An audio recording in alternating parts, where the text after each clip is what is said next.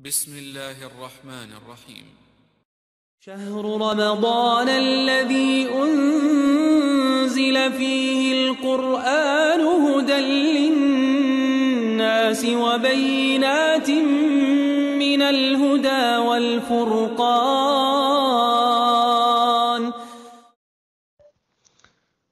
ওয়ালাইকুম আসসালাম রহমতুল্লাহি ওবরাকাতুহ একজনের প্রশ্ন হচ্ছে যে আমি জানতে পারছি যে আল্লাহকে মানুষ সামনে দেখতে পারে, কিন্তু আল্লাহর আসল রূপে নয়, কোনো মানুষ অথবা প্রাণীর রূপে।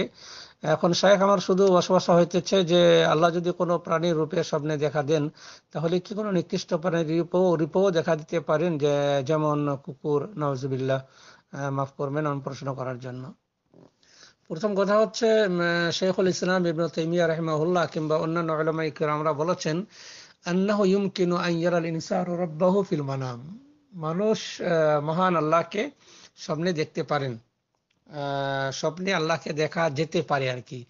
ওয়ালাকিন ইয়াকুনু মা রাআহু লাইসা হুয়া ফিল, হুয়াল তবে যেটা মানুষ দেখল সেটা সত্য নাও হতে পারে।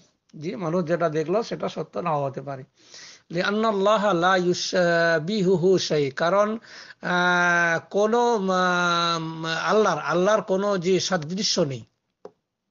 অর্থাৎ মানুষ যেটা দেখল সেটাই যে আল্লাহ, যে না, এটা কিন্তু ভাবার কোনো বিষয় নেই। কারণ মহান আল্লাহ বলেছেন, লাইসা কামিসলিহি শাই, মহান আল্লাহর মতো কিছু নাই, ওয়াহুয়া সামিউল বাসির। তিনি হচ্ছেন সর্ব সর্ব শ্রোতা এবং সর্বদ্রষ্টা। সবকিছু শোনেন এবং সবকিছু দেখেন আর কি। ফেলাইসা ইউস বিহি হু অর্থাৎ আল্লাহর মতো কিছু নেই। ইউকাল্লিমা রব্বু হতে পারে মহান আল্লাহ তার সঙ্গে কথা বলতে ফিল মানাম ইউকাল্লিমু রব্বুহু।